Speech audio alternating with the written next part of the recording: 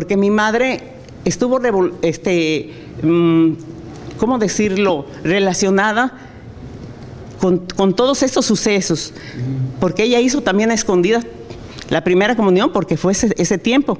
Mi madre fue el del 18, del año 18 fue cuando nació. Entonces, trabajaba mi abuelo con el, con el, padre Vega, que tenía su hacienda en los corrales, por ahí pasaba el ejército, por ahí pasaban también los, los cristeros, y veía, dice, yo lo único que puedo decir es que veía yo aquel muchachito zancas largas con su bandera, con su bandera en el, este, era muy orgulloso, él se sentía de llevar la bandera de Viva Cristo Rey que decía allí.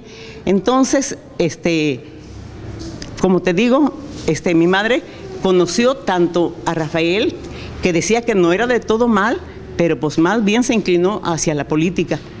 Él le llevó a, ahí a, nuestras tías, porque no sabían leer, le llevó una maestra, pero al venirse, al venirse la revolución, la maestra huyó. Después, don Luis Sagún, tuvimos el orgullo de, ser amigos y, visitarnos en, ahí en la casa. Así es que tanto conoció a mi mamá, a, a don Luis como a Rafael Picasso como a Joselito. Entonces, este, traigo aquí el himno y el corrido. Orgulloso José de ser tu hermano, te cantamos con mucha devoción. Tú que fuiste tan grande aquí en la tierra, dando ejemplo cristiano con valor. No importando el sufrir, fuiste valiente, demostrando lo grande de tu amor. Siendo niño nos diste tu nobleza, que hoy nos mueve a reunirnos en tu honor. Hoy es fácil, Madre, ganar el cielo. Y con Cristo ya pronto quiero estar.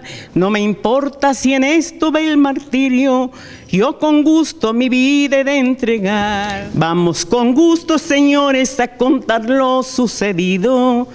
Que en el pueblo de Cotija fue encarcelado un amigo, era José el niño mártir, de Saguayo conocido, sabiendo la situación en que estaba el general, llévese usted mi caballo, para que se pueda salvar. Hoy su vida vale mucho, yo la mía he de entregar, sin el temor a la muerte y mostrando su gran fe.